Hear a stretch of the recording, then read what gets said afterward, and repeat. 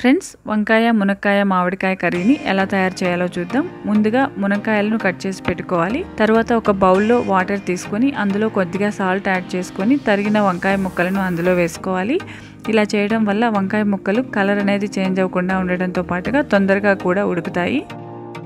తర్వాత స్టవ్ మీద కడాయి పెట్టి కొంచెం ఆయిల్ వేసుకొని ఆయిల్ హీట్ అయిన తర్వాత కొద్దిగా ఆవాలు మెంతులు ఒక తరిగిన ఉల్లిపాయ పసుపు కారం కరివేపాకు రెండు తరిగిన టమాటాలను వేసుకోవాలి.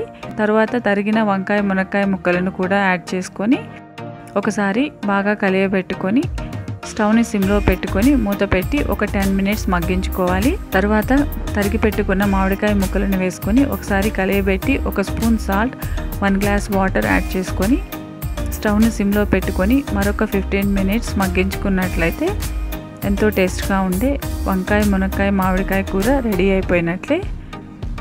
ఈ కర్రీ రైస్లోకి చాలా బాగుంటుంది. తప్పకుండా మీరు కూడా ట్రై చేయండి.